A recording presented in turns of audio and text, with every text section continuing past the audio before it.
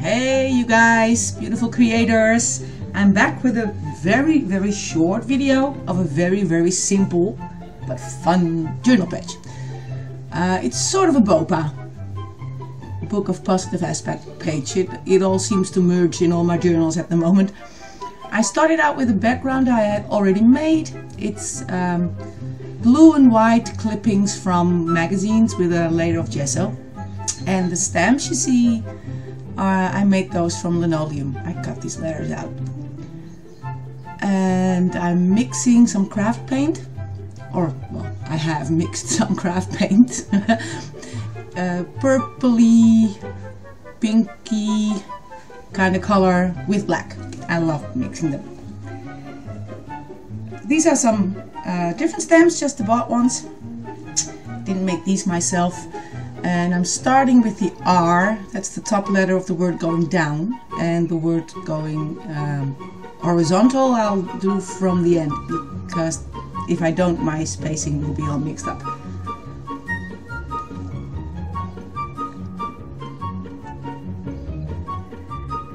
Well, you can see, always remember the good stuff. That's my um, BOPA kind of thing try to think of something good every day, you know.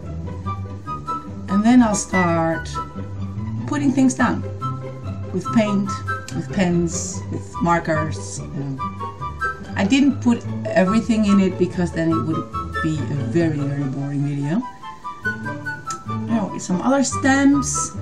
Uh, I use almost all my stamps with ink and with acrylic paint. I just uh, throw these in a, a jar with water and I get them clean easily, no problem. Now for some color, those of you who know me know me, and usual I have a lot of color in my pages. This is a fairly pale for what I usually do, but I loved it. It was just good, you know, working on a page with all the things you love and like in life, good things that happen to you, and just focus on that for, well, how long did it take me to make this? I guess 20 minutes, maybe? That's because the background was already there. So I could, st could start immediately. Now, of course, the color. These are Inktense blocks, one of my favorite materials. You don't see it yet, but they have a lot of color in them. You'll see it, I spray them with a little water and here we go. You can use them in all different kinds of ways draw with them or take a water brush and uh, use them as watercolor. Uh, you can scrape some off, put it in a spray bottle and make spray ink out of it. I love them. And they last a long, long time. You don't need a lot for a lot of color. Oh, this is what I look like from behind. Also nice. What am I doing? I'm writing something. Oh no, I was doing some outline. And some more color.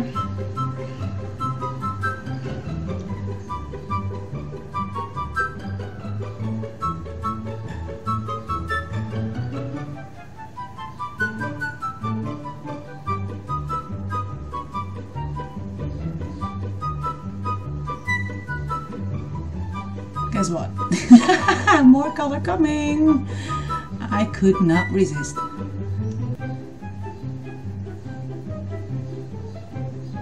And more of the back of my head. Wow. Oh well. Maybe next time I'll show you the front of my face again. By the way, there's a um, flip through coming up soon. And here are some close-ups of this page. Thanks for watching. See you soon with a flip, a flip through of my latest journal. Bye bye.